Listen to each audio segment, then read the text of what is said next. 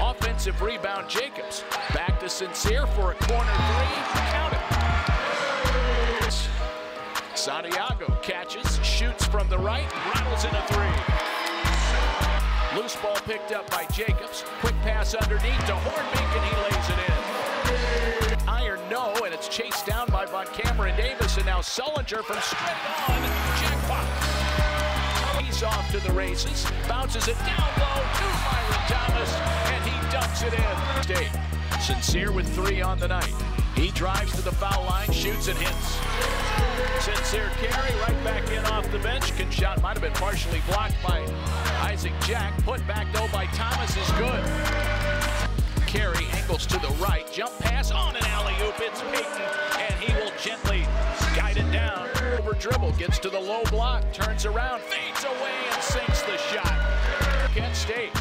He fires a pass underneath, right in stride. VonCameron Davis lays it in. Spins around, gives it to Payton at close range. He goes up strong, scores, and draws the foul. To the left, on the wing now.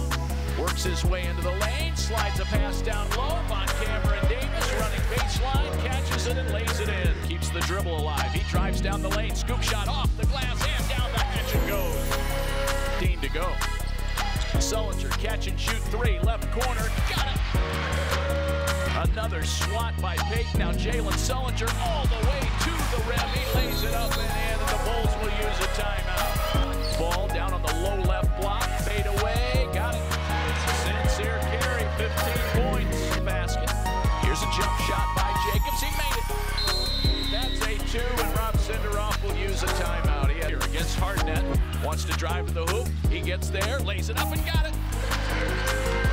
Sincere carry the driving layup, 19 points. And they get it into Adams, and he will launch a long three at the buzzer. It's no good.